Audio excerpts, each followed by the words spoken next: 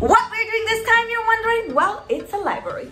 This book over here. And yes, it's super duper duper easy, but especially beside being super cool, industrial, and gives so much texture and personality to your apartment, it's very thin. So if you do not have a lot of space inside your apartment, but you still want to have your books, your magazine, your plants hanging all over the place, this is the perfect tutorial for you. Let's go and start it immediately. What I got is three plywoods, super thin, so very cheap, that are tall 120 and they are deep 60.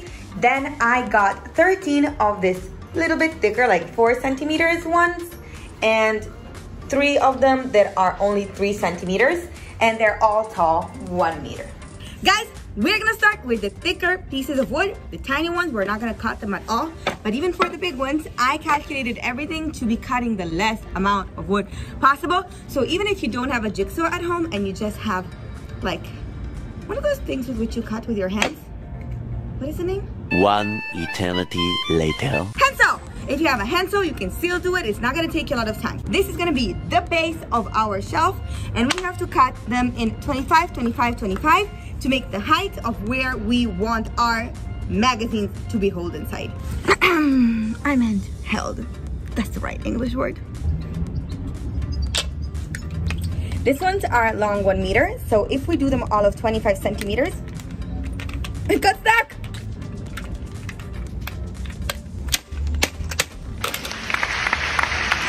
I was saying, because it's one meter, if we do them all of 25, this means that we're gonna have already four legs, just simply cutting this one. So let's mark 25. I calculated 25 to be the perfect measurement to put magazines inside, but if you want to put like old records or books, you can calculate it differently. Now take out your jigsaw and cut everything away. Don't forget to unload your weapon.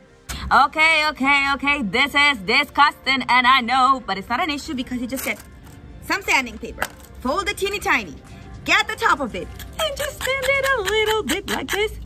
Basically exactly what you're doing with your nails before you put your nail polish. And there we go. Perfect cutting, so smooth. Pull up your pants, cover a little bit of flippy floppy for the camera, and then continue sanding away every single piece that you have cut before. Guys, if you're one of my followers, I just love you and I hope you know that. If you're new to the channel, don't forget to subscribe. It's so great to have you here. Now that we have the base shelves of where we want to put our magazines, we're also going to cut the top ones where we're going to put all our decorations. So we need three lines of 50 and that's what I'm going to measure now because it's one meter. We're just going to cut it in half. Like always, I tell you the measurements of what I am gonna do, but obviously you're completely flexible. I decided to have on the top two squares, so it's gonna be separate, and I want on one side only one shelf, and on the other side, I want two shelves. And because there's a line already in the middle, this means that every side, instead of being 50 centimeters, it's gonna be 48.63. That's what we're cutting.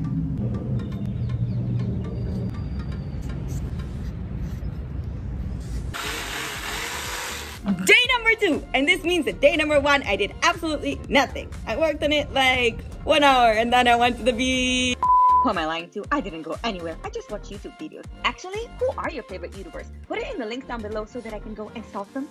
We are gonna have to screw together all the shapes that we did. So we're gonna connect the super short one to the one meter leg like this on the corners. And we have to pre-screw, not screw, but pre-make the holes on the wood because I learned the lesson, if you put the screws inside before making the hole, the wood is gonna open up into. I like saving money, but not as much as I like saving time. So to make a perfect hole in two places together, you just place them one on top of the other and you make the hole at the same time. After that, you're just gonna put your screw inside and screw it in. We're gonna do that on every single side. And uh, this is only one of them. We're gonna have to do the same identical thing three times. And now finally we put the skinny wood that we showed you at the beginning and screw it in as a closing for the library. We tripled exactly identical thing all the way to the top. And now we're gonna have to go and build the top box that I told you is a little bit different. To make a box, instead of making only a long leg on the bottom, I did a long leg on the top, a long leg on the bottom, and then two connection stripes on the sides. Then I also added one long line in the middle, so to divide the space into.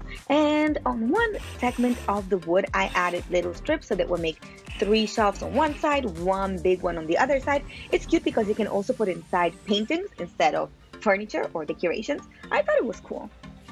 We can now go and mark on the back of the wood, so we're not gonna see all the signs that we did, where the connection is. In this way, I'm gonna be able to do the holes to screw together the shelf to the back of the wood.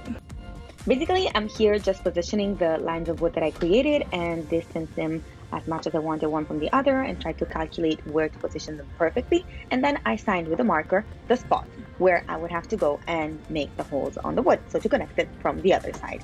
Once you make the drawing and take it away, you will see that on the bottom ones, I'm gonna make the holes exactly where the line is.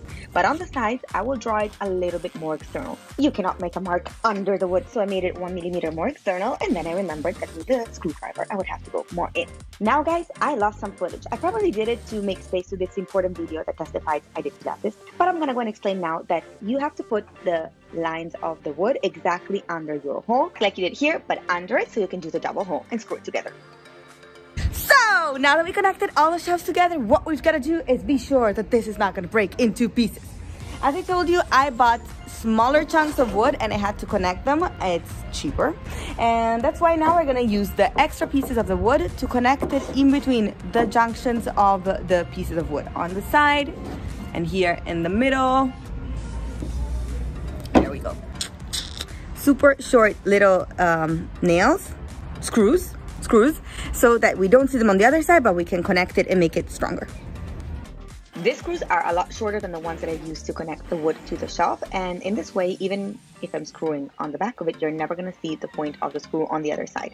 Then I just go and screw them all inside, secure it all correctly and you are done.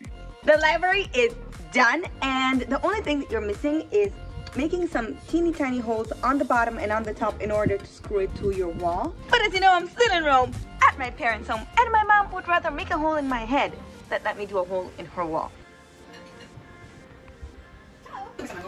Mamma, eh.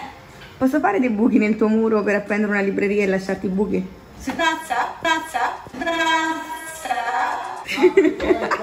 so all we've got to do is style it up and show you the result.